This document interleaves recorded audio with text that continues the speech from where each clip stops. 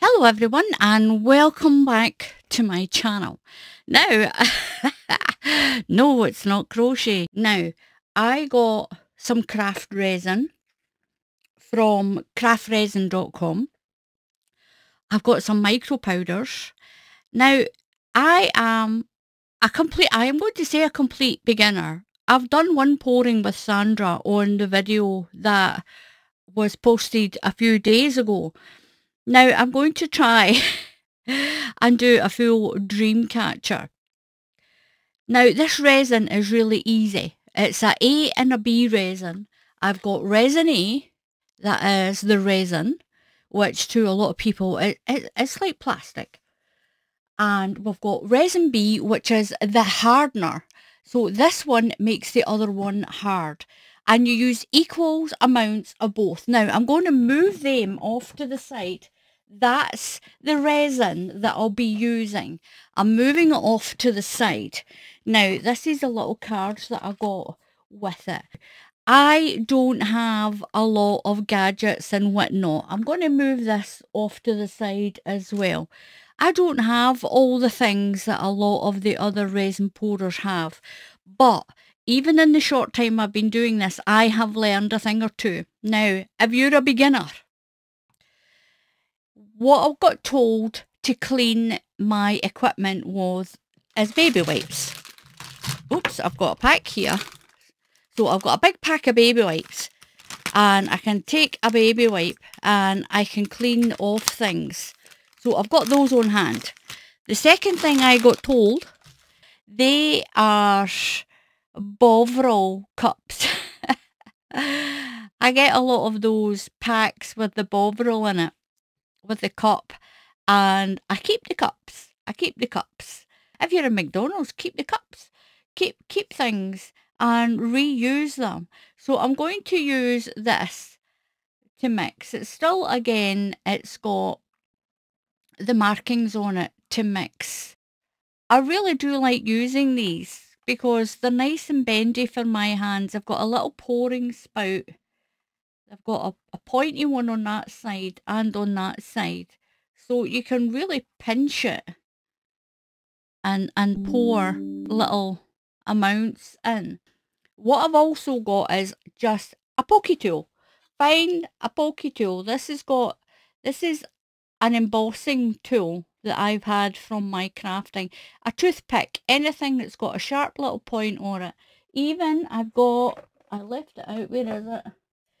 Even use a spare sort of darning needle just to pierce the big bubbles that come up.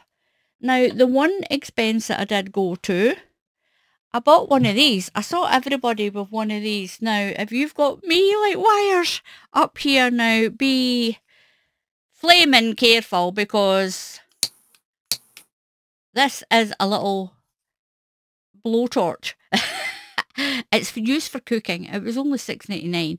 Really cheap one. You can buy the ones from the pound shop, but um, the flame burns slower on it. This if you've got a bigger one or one like this, just to brush the bubbles off the top of it, and you do it really quick like this. I've watched some doing that.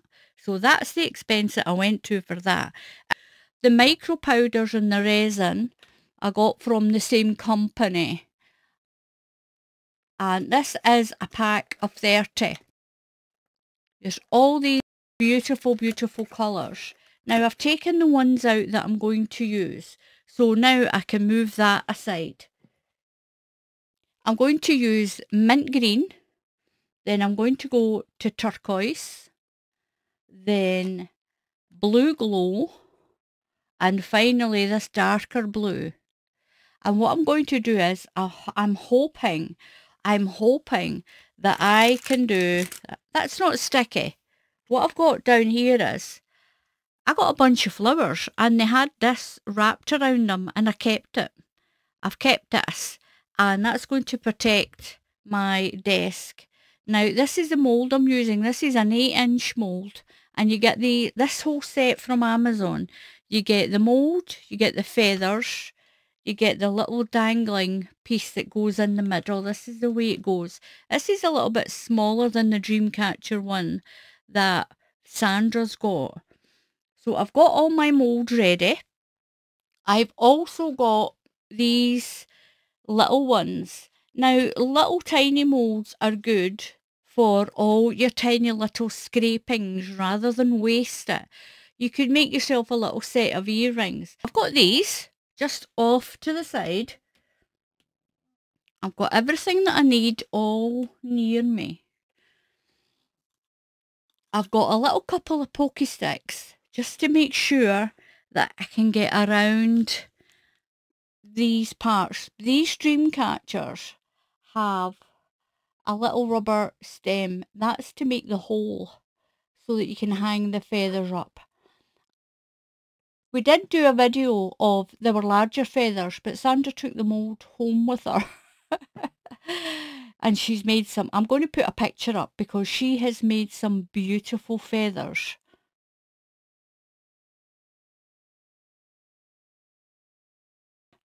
I'm going to do this one this time. So, this little pokey stick, it is clean. It's just, it's been all wiped.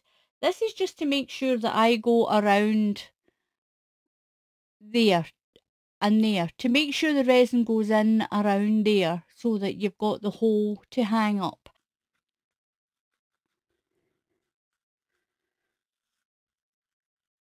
And you get a good mixing time. So I'll do mix that in.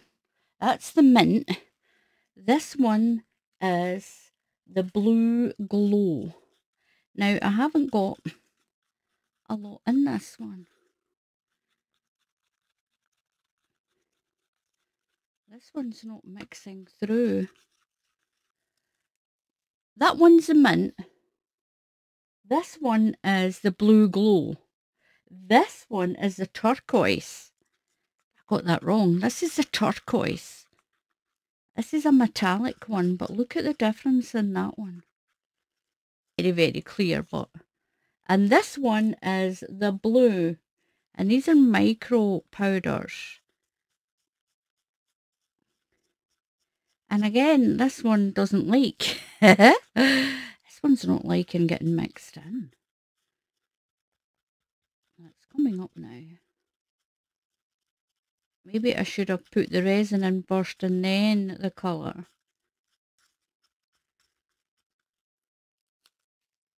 So I've got that one. So I've got my mould. Put that in the picture. Now, what you can do is you can use a piece of sellotape to make sure you've got no hair or anything.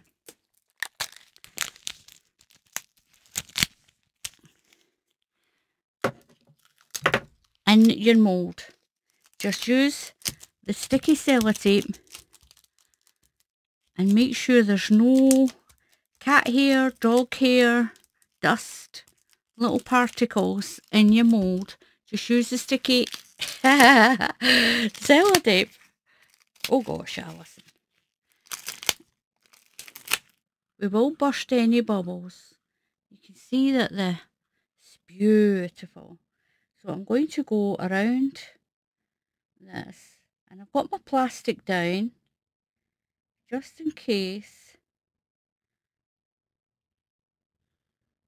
Just take your time. Don't rush it. Have some patience.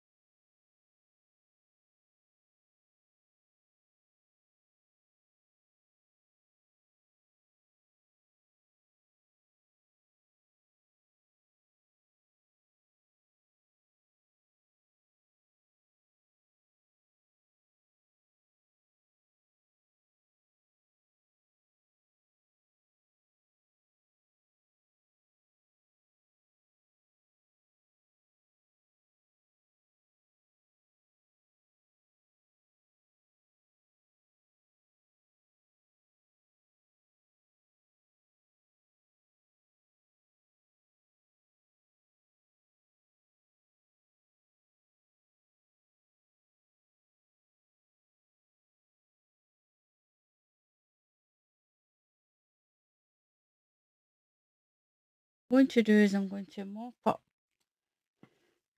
my mess and make sure I'm in all the little crevices.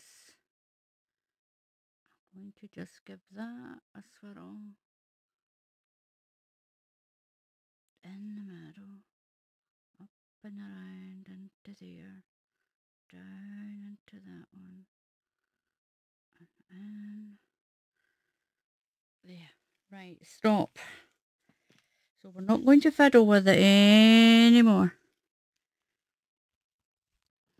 So I'm going to quickly just work on these. Any I've got left, I've got other moulds that I can use. I'm just going to drip it in.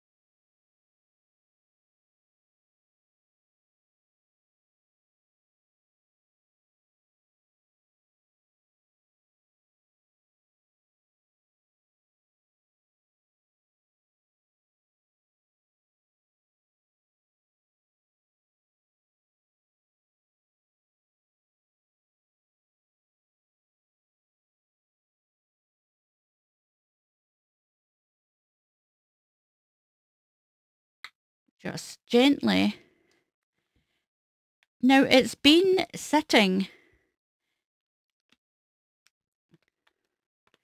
for almost 24 hours and it's still slightly soft.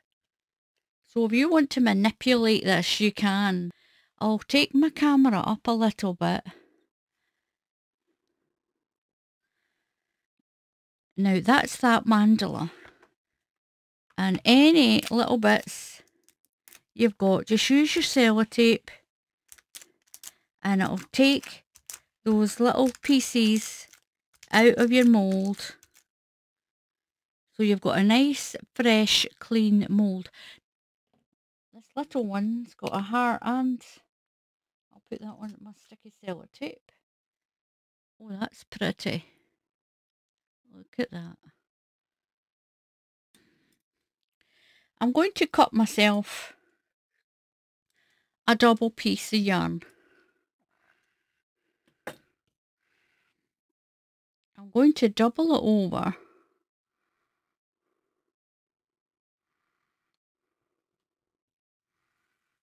like this and put it right through the middle.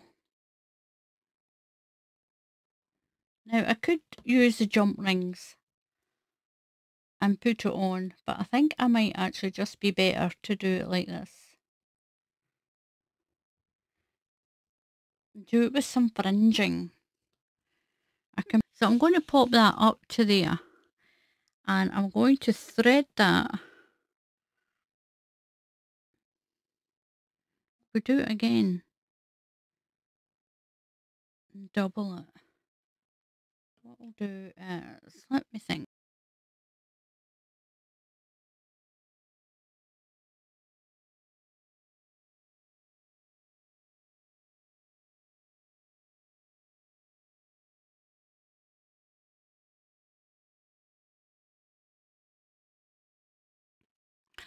So this is my dream catcher all finished.